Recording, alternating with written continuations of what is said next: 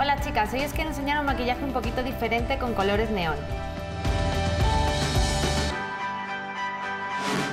Es muy importante aplicar un primer, nos va a ayudar a que la sombra dure más y se fije con más intensidad.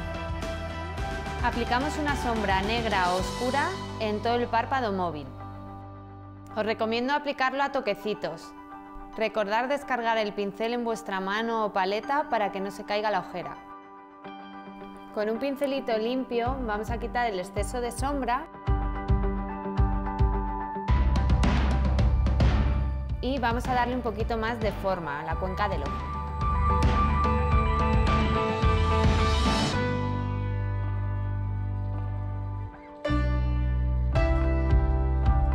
Vamos a marcar un eyeliner muy muy muy finito.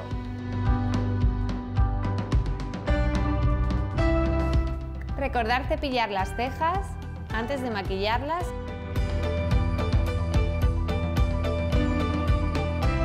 Aplicamos un poquito de corrector en el punto de luz debajo de la ceja. Recordar rizar la pestaña antes de aplicar el rímel. Con un eyeliner que tengamos marcamos el lagrimal en pico.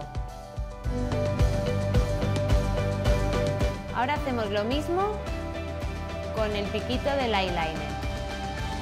Aplicamos el rímel como siempre en abanico para que parezcan más largas. Aplicamos un colorete, puede ser en crema o en polvo, pero sí os recomiendo que sea un color clarito. Cuando utilizamos sombras siempre os recomiendo utilizar el corrector después de haber terminado el ojo.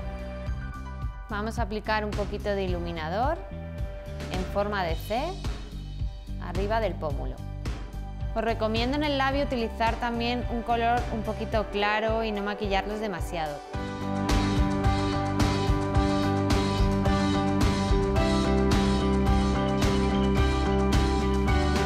Bueno chicas, si os animáis con este maquillaje espero que me lo digáis.